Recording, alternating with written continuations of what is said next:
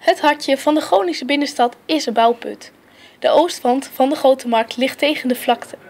Maar het eerste nieuwe gebouw werd vandaag opgeleverd. Dit wordt het nieuwe huis van de roemruchte studentenvereniging Vindicat. Maar symbolisch gezien. Zou ik die graag weer geven?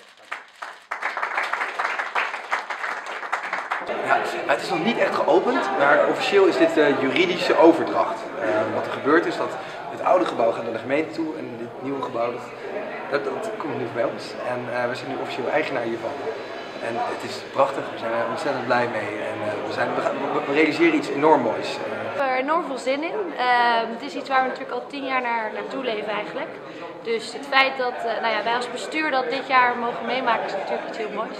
Dus eh, ik heb er heel veel zin in. Dat is eh, eh, voornamelijkste gevoel wat bij opkomt. En dan gaan we waarschijnlijk in, goed zeggen, april, begin april, dan gaan we even proefdraaien. Dan gaan we het uitproberen. Want ja, er zijn ongeveer 1500 mensen binnen onze vereniging denk ik, die hier wel naar binnen willen gaan. Nou, mijn eerste indruk, het is natuurlijk eh, een stuk groter, massaler eigenlijk dan het oude pand. Dat is vooral heel diep.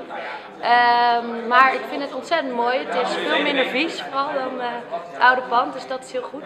Ja, dit is iets bijzonders denk ik voor de stad. Want de, binnenstad, dat dat, dat, dat dat eigenlijk herbouwd wordt, dat is iets unieks. Dat is iets, een historisch iets.